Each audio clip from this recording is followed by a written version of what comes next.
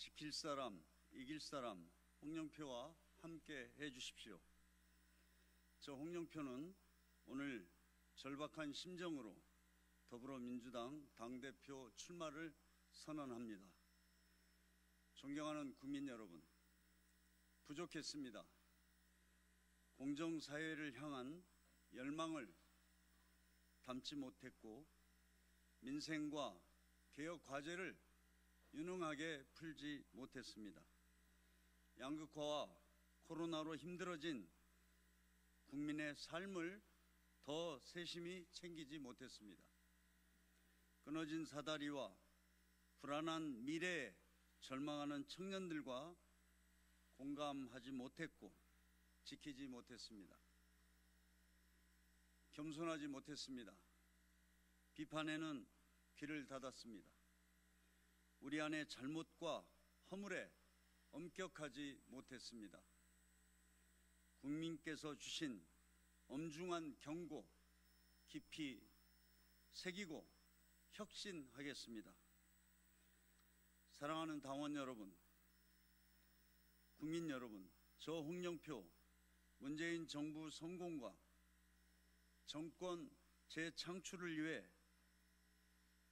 약속드립니다. 첫째, 당을 안정시키고 단결시키겠습니다. 재보궐선거 패배를 깊게 성찰하고 수습하겠습니다. 국민 속으로 들어가 더 경청하고 치열하게 토론하겠습니다. 고칠 것은 고치고 부족한 것은 보완하되 우리 민주당이 국민과 함께 걸어온 역사와 가치는 지켜내겠습니다. 경선 관리 공정하게 하겠습니다. 정의롭고 공정한 사회를 만들고 대한민국의 미래를 준비하는 경선, 대선 승리를 위해 당이 단결하는 경선이 되어야 합니다. 이를 위해 시스템에 입각한 공정한 대선 경선을 치르겠습니다. 둘째, 당의 주도적 역할을 강화해 문재인 정부 성공을 끝까지 책임지겠습니다. 코로나 위기 극복과 경제 회복의 성과를 내도록 하겠습니다. 문재인 정부의 성공이 곧 정권 재창출입니다. 셋째, 당이 중심이 되어 대선을 치르겠습니다. 과거처럼 싱크탱크 등 후보의 사조직이 아니라 당의 주요한 공약과 정책을 당론으로 만들도록 하겠습니다. 당이 중심이 되는 책임 정당 정치를 구현하겠습니다. 우리에겐 174명의 국회의원과 80만 권리당원, 400만 당원이 있습니다. 이 모든 역량을 더불어민주당의 이름으로 모아내면 우리는 반드시 이길 수 있습니다. 사랑하는 당원 여러분, 저는 늘 위기를 돌파해서 성과를 만들어냈습니다. 20대 국회 원내대표 시절 문재인 정부 개혁의 초석을 닦았습니다. 혁신 성장을 위한 규제개혁 5법을 처리했습니다. 자유한국당의 반대와 검찰이 막는 법은 국회에서 통과시키지 못한다는 통념을 깨고 공수처, 검경수사권 조정 법안 등을 패스트 트랙으로 성공시켰습니다. 당원 동지 여러분, 이제 대선이 329일 남았습니다.